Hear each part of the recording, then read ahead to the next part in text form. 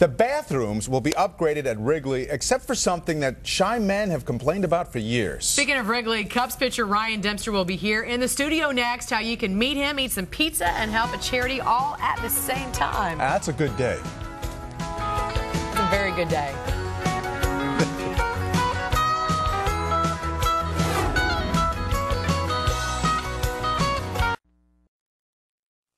Time right now is 9:23. The stainless steel troughs at uh, at Wrigley will remain untouched despite all the renovations. Yes, you know, during the offseason, the Cubs, isn't it funny that this is the thing we focus on? During the offseason, the Cubs are redoing the restrooms at Wrigley, but apparently not the urinals. They're, they're not going to be replaced. No word on exactly why they're being left out of the upgrade, uh, but we all know that it moves things along quickly when the lines are getting long there. Um, the uh, Ricketts family has opened its checkbook to make over the friendly confines. Those changes will be completed in the next five years.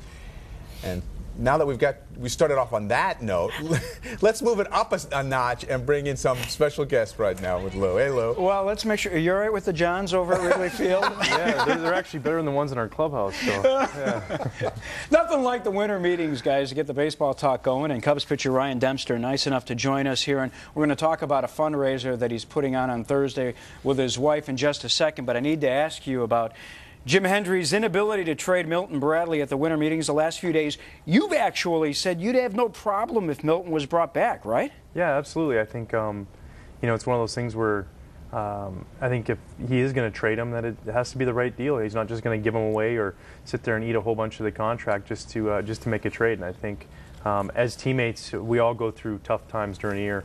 And I think uh, what makes a good a good teammate is somebody who's willing to accept somebody back. And and uh, and step forward and, and, and, move in the right direction. I think if Milton came back and was on our team, that, that's what you have to do. You have to you have to you know kind of forgive and forget and, and go out there and try and play as well as you can and try and try and compete for a championship. You know, Lou Piniella is moving into the last year of his contract, and there's going to be all this talk about Lou now being a distraction this season. Do you think he'll be a distraction?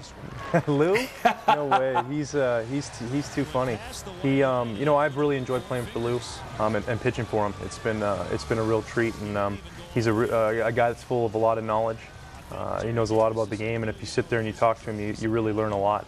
And uh, he's he's definitely got some entertaining antics when he's out there uh, you know, his seven-minute walk to the mound and things like that. But um, you think he wants to come back? I think so. I think. Uh, I mean, who wouldn't? I, I love playing here, and I, I, can imagine managing here is just as much fun. All right, let's talk about a much more serious matter, and that's a disorder that your daughter Riley is suffering with right now, and it's called DiGeorge syndrome. And you and your wife Jenny have started a foundation.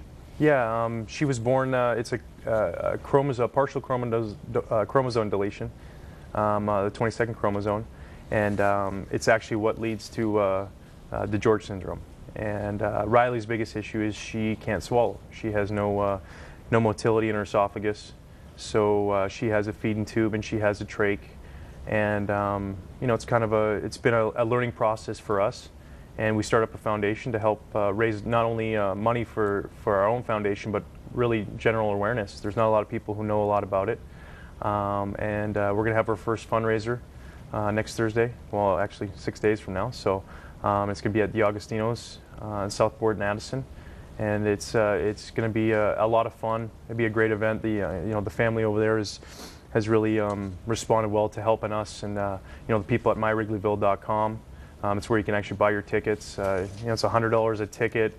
Um, $50 for kids 12 and under, and there's going to be a lot of prizes. We're going to do a trivia night, and and uh, do a, a, raffle prizes and some silent auction things and anything from Cubs tickets to, to Bears tickets and Bulls tickets and Blackhawk tickets and, and all kinds of uh, great prizes and, and, and, a chance for fans to interact and, and show them how much I appreciate and give and say thank you to them. All right, great. Again, it's next Thursday night, December 17th at D'Agostino's on Southport and Addison, 6 o'clock.